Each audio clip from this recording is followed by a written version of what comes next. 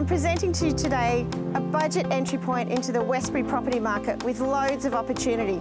All you need is an open mind and a little bit of imagination. Let's go and take a look at the features of what's on offer here. This charming 1860s cottage is 161 square metres and with a bit of TLC you could turn it into a solid rental option or first home. It sits at the front of an 855 square metre block and has views out to pasture under well-established trees. The property is situated at the end of a no-through road offering privacy and good off-street access for the tradesmen. The home has three bedrooms and a cosy living area with wood heater and pressed tin ceilings. One of the main features of this property would be the triple garage, double carport. You also have loads of workshop space and there's a kitchenette attached to this as well.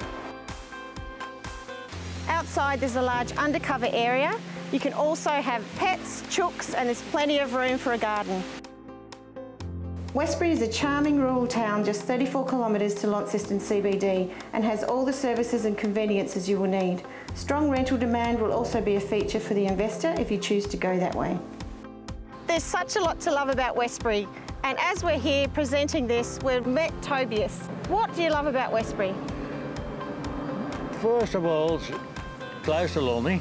It's nice and quiet here. And a lot of tourists love it. And they do. It's a beautiful little town. Fantastic. There you have it. And now there's an opportunity that's presented itself for you to become part of this community.